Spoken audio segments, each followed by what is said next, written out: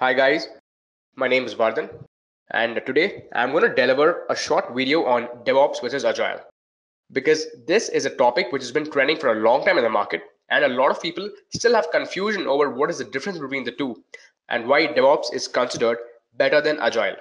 Okay, so I don't want to waste any time. Let me immediately get started. As you can see from my screen, both are software development methodologies. Agile came in a couple of decades ago and DevOps is very recent as recent as mid 2000s. Now, primarily, what is the similarity between the two? The similarity between the two is they both believe in fast software development. Okay. And even their principles are based on how fast the software can be developed without causing harm to anyone, neither the operations nor the customers. Okay. But however, the difference between the two lies in what happens after development. So there is software development, there is software testing, there is software deployment, right? After these three stages, there's a small difference. Agile actually ends right there.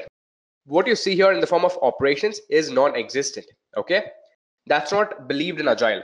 That is not their focus at all. However, with DevOps, there is operations which is continuously happening. And when I say operations, it's basically monitoring. So whatever application or software is being developed, that gets continuously operated on to make sure that the software is always up and running. There is no downtime there is no problem with anything so that the customers don't get back with any errors or any problems right? So that is the difference. So with agile the software is actually tested before it's deployed to customers or clients. However after it's deployed it is not monitored on okay? A track of how the software is performing is not kept. With devops that is the difference. There are a lot of tools in place to achieve that very same. There are a lot of automation which is in place and this makes lives easier DevOps believes in the fact that one single person should have responsibility for everything the development, operations, and uh, the entire life cycle. Okay, with Agile, that's not the same. Agile, you have people who will be developing, there'll be people who will be testing it, and there will be people who will be operating it. So there's a wide difference in job roles. Okay, with DevOps, you have DevOps engineers who are primarily responsible for doing everything. So it's more of a merging between the two job roles. All right, so that is the uh, difference between them on a higher level.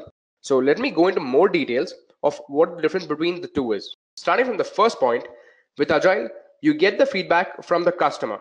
Okay, whatever software is uh, deployed, you do not operate on it anymore. You do not monitor it. So the feedback comes from the customer. However, with DevOps, the feedback is from self.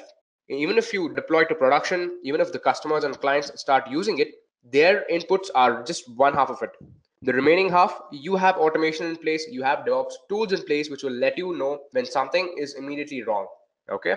And then agile also believes in having smaller release cycles compared to sdlc so that is one advantage with agile but devops does it better.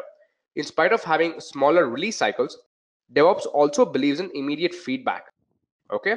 And agile's primary focus is only on speed but devops believes in both speed, and automation of work so that the overall workload reduces. You can conclude this by saying that Agile is not the best solution for business. However, DevOps is the best for business, at least in today's world. Because with DevOps, there is a lot of cost cutting. You have a lot of tools in place, open source tools which are free to use. So a lot of people can use it straight away without having to pay license, and companies don't need to use manpower. And a lot of other benefits are associated with DevOps. So that is the difference between the two. Okay. Now I want to go to the final slide here and talk about which are the most used DevOps tools because DevOps is the ultimate technology, right? So we start from here. Okay. So this is the phase where you plan, code, and build your software. Okay.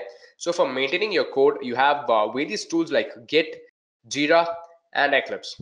Okay. Eclipse, however, is an IDE Git is a place where you can store your code and collaborate with multiple other people. So you even have SVN for the same purpose. For building your code, you have tools like Maven, Gradle, and Ant. And then to test that code which is built, you have Selenium, you have JUnit, you have TestNG, and you have many more tools. And then comes the main part. For release, we have tools like Jenkins, Bamboo, Hudson, and many more. And these tools are actually my favorite because they are continuous integration tools which are responsible for holding the entire DevOps framework in place.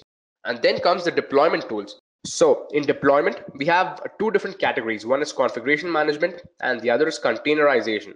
In configuration management, we have tools like Puppet, Chef, Ansible, and SaltStack.